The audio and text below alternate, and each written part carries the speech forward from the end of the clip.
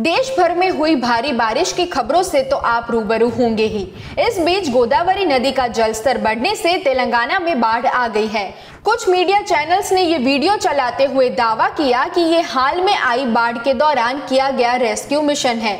India Today ने ये video Telangana में हाल में आई बाढ़ का बताया। वहीं टाइम्स नाव और इस ग्रुप की हिंदी चैनल टाइम्स नाव नव भारत ने भी ये वीडियो चलाते हुए ऐसा ही दावा किया। Mirror Now Zee Bihar Jharkhand TV nine Kannada ने ये वीडियो इसी दावे के साथ चलाया है।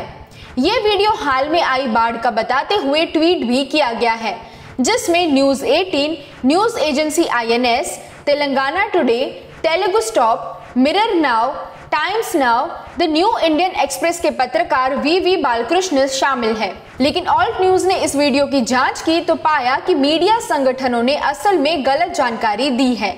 द न्यू इंडियन एक्सप्रेस के पत्रकार वीवी बालकृष्ण के ट्वीट पर कई यूज़र्स ने रिप्लाई किया और बताया कि ये वीडियो पुराना है और आंध्र प्रदेश का है। इस आधार पर कीवर्ड सर्च करने से हमें 20 नवंबर 2021 की हिंदुस्तान टाइम्स की रिपोर्ट मिली, जिसमें वायरल वीडियो का स्क्रीन ग्रैब पोस्ट किया गया है।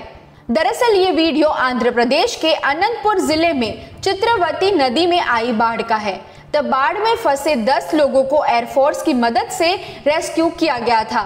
एनडीटीवी की रिपोर्ट में भी वायरल वीडियो के विजुअल्स है। 2021 के यूट्यूब वीडियो का फ्रेम वायरल वीडियो से मेल खाता है।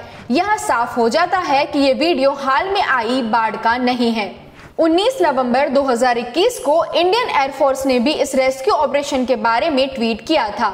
कुल मिलाकर मीडिया ऑर्गेनाइजेशंस ने आंध्र प्रदेश में 2021 में आई बाढ़ का वीडियो, हाल में तेलंगाना में आई बाढ़ का बताकर चला दिया।